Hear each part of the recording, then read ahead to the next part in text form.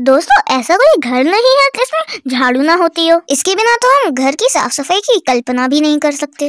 अब तो बहुत सी कंपनियाँ भी झाड़ू बनाने लगी है और उनके दाम भी बढ़े हुए हैं। तो हमने सोचा, क्यों ना हम भी घर के वेस्ट मटेरियल से झाड़ू बनाए। आप यकीन नहीं करेंगे कि कितनी अच्छी, कितनी सॉफ्ट झाड़ू बन करके तैयार हो गई। आप अपने फर्श को इससे बहुत इजीली साफ़ कर सकते हैं। और इसे बनाना भी बहुत आसान है। ये झाड़ू हमने प्याज की बोरी, आलू की बोरी, इस वेस्ट मटेरियल से बनाई है, जिसे आप दोबारा यूज़ नहीं करते होंगे। इससे हम वेस्ट मटेरियल को यूज़ भी कर लेंगे और हमारे पैसों की भी बचत होगी। ये झाड़ू देख करके आपके पड़ोसी भी पूछेंगे, ये झाड़ू आपने कहाँ से खरीदी? दोस्तों, अगर आप मेरे चैनल पर पहली बार आए तो मेरे चैनल को सब्सक्राइब कर दीजिए और मुझे पता है आप लाइक तो करेंगे ही। ये वीडियो आप अपने फ्रेंड्स को भी ज़रूर शेयर कीजिएगा, ताकि उनके भी पैसे बच सकें।